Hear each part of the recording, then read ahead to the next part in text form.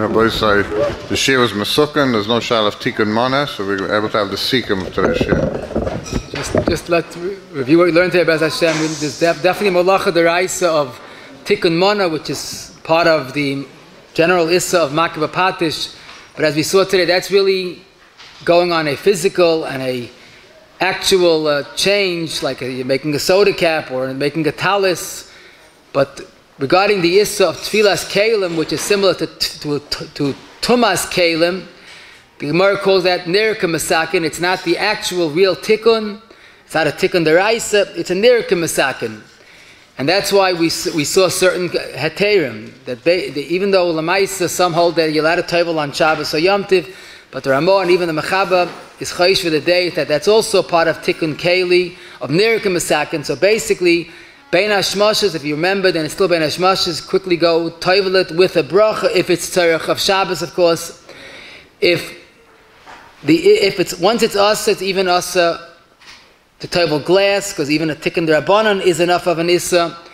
If you have a suffix, Mr. is makel to toivel even a suffix of metal, because it's not a real tikkun, it's only a suffix.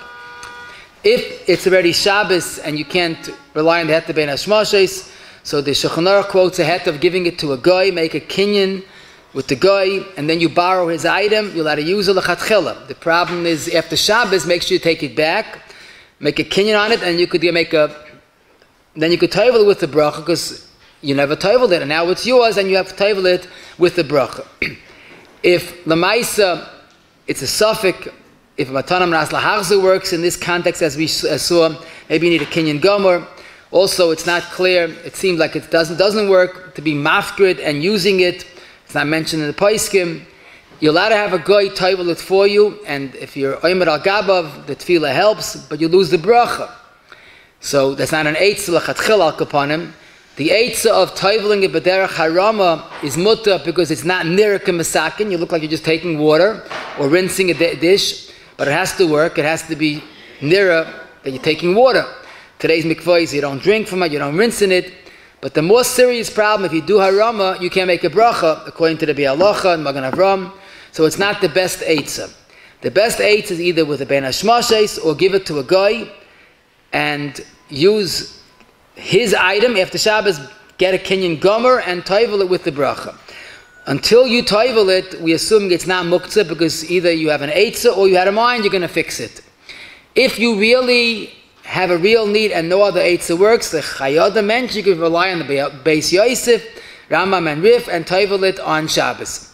Yom Tov is like Shabbos, you don't toivel unless it's EF Shemi Boy Joim, and if it's glass, Moirin came. If it's not glass, halacha the ain Moirin came. There's no issa to keep a kelim tovel in the house. That's only by tuma, not by kelim of that weren't getoivelt. If even if there's no issa bittel issa, but there's an issa of bittel issa on Shabbos or Yom Tov, ain lechatika god lemizu, except as we showed, if lamaisa it's not also just this wine of a guy in it, you're allowed to rinse it out, like you're allowed to clean out dishes. But if there's an issa, we don't kasha on Shabbos or Yom Tov, that's neraka masakin. We said you're allowed to erepesh Shabbos, you're allowed to kasha braces or dentures because it's not yet awesome, so it's not a tikkun. Sterilizing an item is not a tikkun, but you have to be careful. It should make it glowingly red hot. That would be the issa of either havar or bishul. Misakin wine pogum is not a real tikkun. it's just a hiddur and the gabi kaishal bracha. Mezuzah that fell off, you're allowed to put it back. Mitzat tikkun. The only issue is it might be the issa of moisval abinyan. A shak and a mikveh is mutter to be made, and if you have chalas, you have bread that you didn't take off the challah on Shabbos, and Eretz Yisrael, you're stuck. In Chutz you're allowed to eat the challah and leave over a piece. I, I want to mention, I mentioned that challah Chutz is, is just the shleitish takach. I, I, said the wrong marmokim. It's in Shin Chav Bey Siv Gimel, but since it's only a mitzvah on the person, you're allowed to eat and be mafresh after Shabbos with the brach. Okay,